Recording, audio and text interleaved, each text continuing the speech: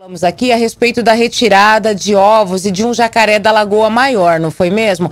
E aproximadamente 40 ovos foram retirados do local, além de um jacaré, mais a Secretaria do Meio Ambiente diz que existem outros animais que habitam a lagoa e esses animais podem continuar ali convivendo normalmente com a população.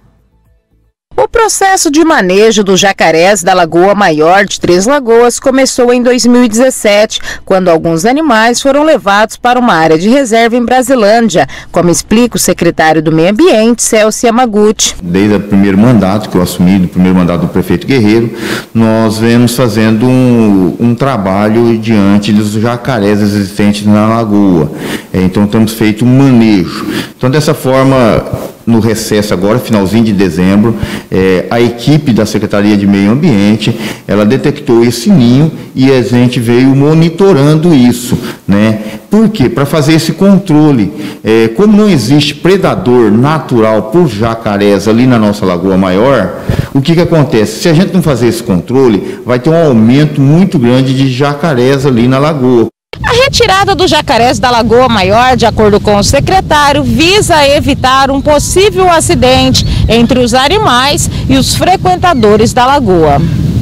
Com isso também é, trazendo perigo né, à população, às pessoas que frequentam ali, uma vez que ele fica muito agressivo, por isso que optamos também pela retirada desse jacaré que estavam cuidando do ninho ali, possivelmente uma fêmea, né, que ela mediu 1,97m, em torno de 45 quilos, ela estava muito agressiva e dessa forma nós, com a equipe técnica, tomamos a decisão de efetuar a retirada dele também, além do em torno de 40 ovos ali existente.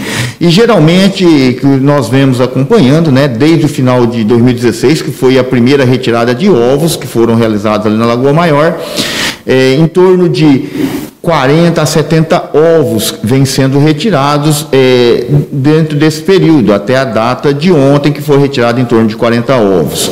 Então, isso é, na verdade, um controle. O secretário explica que a ação faz parte de um controle e que outros animais vão permanecer no local. O jacaré não vai acabar de vez ali na lagoa, uma vez que a Lagoa Maior, por meio de galerias, ela tem acesso ao córrego do Onça, como também tem acesso à segunda lagoa, é, que possivelmente tenha jacarés também. Ali é um habitat deles, né? Que eles possivelmente eles migram, então quer dizer, sempre vai ter. Só que há necessidade de se fazer esse controle das, da espécie ali. Como eu disse, não tem predadores para eles. Se a gente não fizer esse controle, vai ter um aumento muito grande da população de jacaré ali na região. E qual que é a preocupação maior desde aquele primeiro mandato do prefeito Guerreiro, né, é, com o qual detectamos os jacarés grandes. É lógico, inicialmente tivemos a ajuda da especialista da Embrapa, a doutora Zilka, que é a maior autoridade em répteis no mundo, né, pesquisadora, ela é da Embrapa Pantanal, sediada em Corumbá onde tem as pesquisas, e a decisão naquela época foi tomada em conjunto com ela, porque a nossa preocupação era que acontecesse algum acidente com os jacarés ali existentes, porque eles estavam muito é, acostumados com a população, que a população chegava até a tocar nesses jacarés.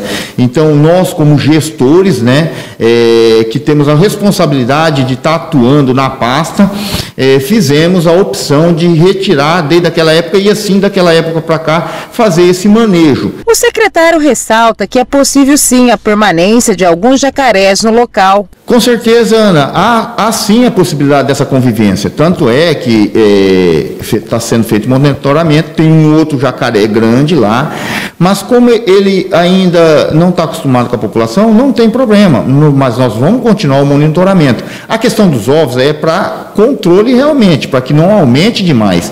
Mas ali ainda deve ter uns 3 a 4, na Lagoa Maior deve ter isso. Nós vamos continuar monitorando, né? É, se não houver necessidade, nós vamos retirar por ser atrativo.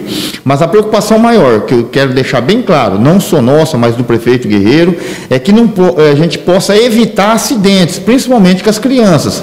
É, uma vez que já teve acidentes, mas com pequenos animais, né, com cães, é, que na verdade se torna parece um filme de terror, a hora que a gente vê uma situação daquela. Imagine se fosse com uma criança.